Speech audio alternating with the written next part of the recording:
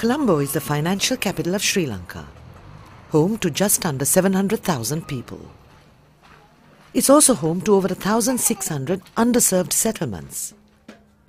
Most are inhabited by a combination of long-time urban residents who have lived in settlements for generations, and those who have migrated from rural areas seeking livelihoods. Over time, these residents have settled informally on both privately owned land and public land owned by government agencies such as the Colombo Municipality and the National Housing Development Authority. As a result, many settlements have very limited access to municipal services, and those that exist are often derived from informally negotiated political arrangements, rendering more sustainable solutions a challenge.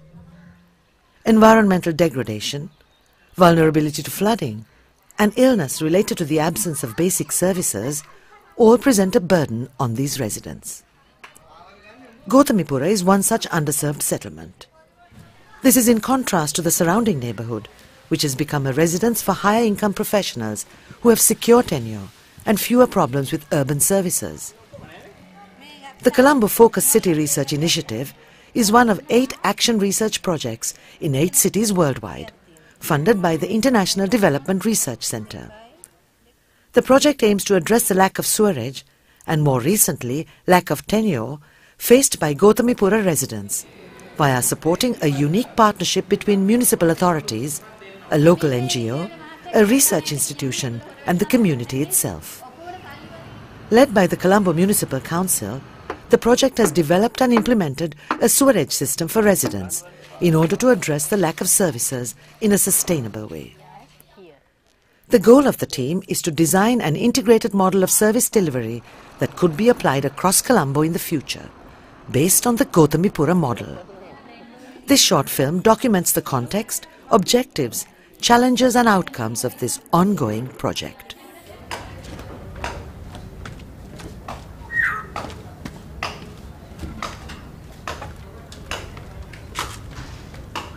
Hey.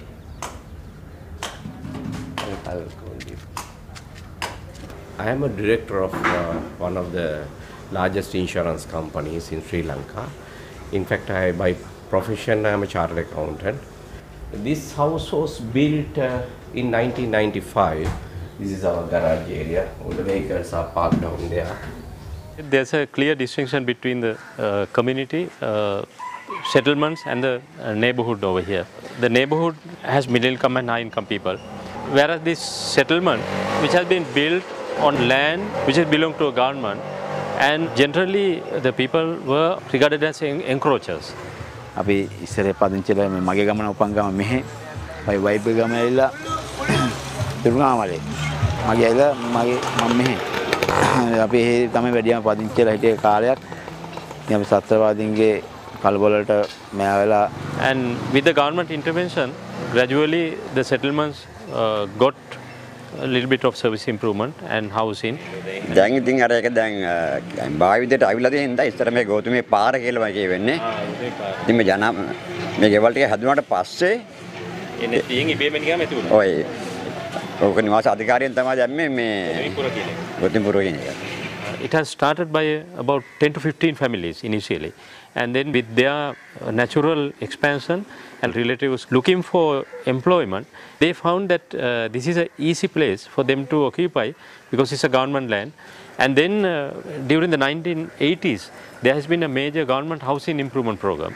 As a result of that, uh, these people uh, got the support of the National Housing Development Authority to improve the houses. අවුරුදු විසි දෙකේදී වගේ තමයි අපිට ඉඩම් කට්ටි කරලා දීලා අ, ණය පහසුකම් මතින් ගෙවල් හදාගන්න දුන්නා. එකතු වෙලා ලයිට් අපි ඔක්කොම එකතු වෙලා ලයිට් ගත්තා ගෙවල් වලට. ඊට පස්සේ වතුරක් ගත්තා ඒ වගේ. because of their voting right, they have uh, developed linkages with the councillors, you know, and councillors got involved uh, or uh, sort of uh, have supported these people to uh, get uh, water, electricity, and uh, things like that. So that is how uh, it came to be a, uh,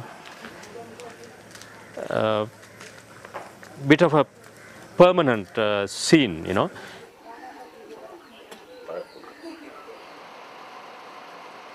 හුඟම ප්‍ර- ප්‍රශ්නේ මේක තමයි. හුඟම දේ මේක. දැන් මේ ඩැනෙට් වල දැන් අපි ගෙවල් ළඟ හදාගෙන තියෙන මේවා මේවා කලක් කරනකොට මේවා පිළිච්ච ගමන් ඒවා සේරම උඩ උඩට එනවා. ඊට පස්සේ ඊට පස්සේ අපි නගර සභාවට කියලා සල්ලි දීලා හරි මේක අපි ඉස්ස ගන්න. පාත නැත්තම් මේ ප්‍රශ්නේ හිටින්නේ නැහැ. ඉතින් අපි කොච්චර වැල්සිකිලි උසර හැදුවත් අර මේක පාතයි හින්දා පොළේ වතුර ජල මට්ටම තියෙන එක මට්ටමකනේ තියෙන්නේ. ඒ මට්ටම තමයි බලපාන්නේ මේ වැසිකිලි වලට මූලිකවම බලපාලා තියෙන එක තමයි. වැහි කාලෙදි මේව ඉතුරුවම සේරම ගේ පිරෙනවා.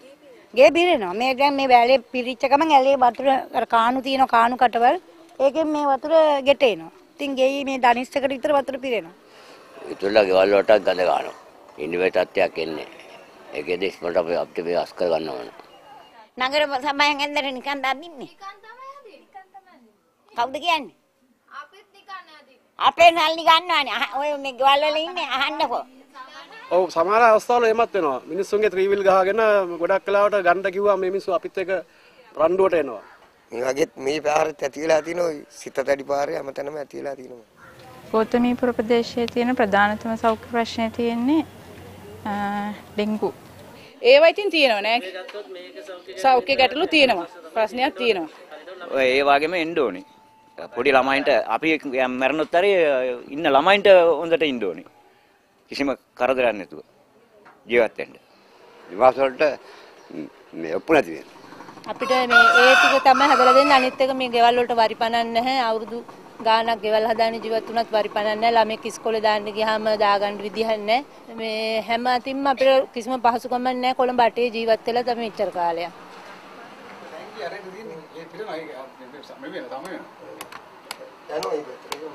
So this particular network covers around 240 houses, providing individual sewerage facilities for these people.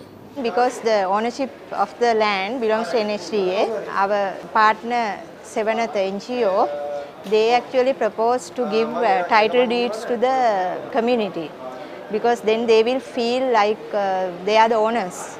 We got to uh, make a request by the community to the National Housing Development Authority for uh, initiating the title deed issuing process. We discussed this with the community leaders, and there's a problem with, with them how to raise funds for the ON operation maintenance part of the project. because NHDA does not have enough money to uh, invest on that issue so, Uh, and municipality cannot invest our own money because that settlement is not owned by us. They are suggesting at least 25,000 rupees has to be paid by the each individual householder. Out of that, 10,000 will be released to the municipal funds. From that, we will be paying the electricity bill. There is a ma- most important part of this project. Once the system is connected, we are supposed to pay the electricity bill to the electricity board. So immediately we need some funds to pay the bills. Sustainability of the project will uh, lie on the hands of the community, how they act and react. The, the main distinction in this project is that the Colombo Municipal Council is actually the lead. We often have a policy component, but it's all through advocacy on the part of these research institutions to the municipal government. In this case, the municipal government is actually the lead of the project. Colombo Municipal Council is the main uh, implementer of the project with two other partners, Sevanatha and the research organization CEPA. As a local NGO partner, uh, basically uh, we have to uh, organize the community to support the project activities. And CEPA is looking at impact of our activities on the poverty of the, these communities. This initial stage is a baseline. The findings from this study will go into understanding what the current situation is of the community. Our concern is that we, we do research and we advise for implementation or for policy change. When you have people with similar minds, it becomes easy to work with each other because we understand and we speak the same language. එහෙම තේරලකන් සල්ලි කරන්නේ නැහැ ඒකට. ඒ නෑ නෑ. ඒවා අපි කිව්වේ නෑ තාම. ඉන්කම් ඉලි කියන්නේ අපි නෑ. ඉතින් මේ එදාට වඩා එදා කාලේ අද කාලේ බලනකොට සමාජාතිනුත් පරිසරයාතිනුත් අනිත් දේ සියලුම දේවල් අතිනුත් සෑහෙන ප්‍රගතියක් ලැබලා තියෙනවා. ඉතින් අපි විශ්වාස කරනවා ඊටාම ඉක්මනට මේ ව්‍යාපෘතිය වැඩ අවසන් වෙලා මේ පරිසරයේ මීට වඩා වැඩි දියුණු තත්ත්වයකට එයි කියලා.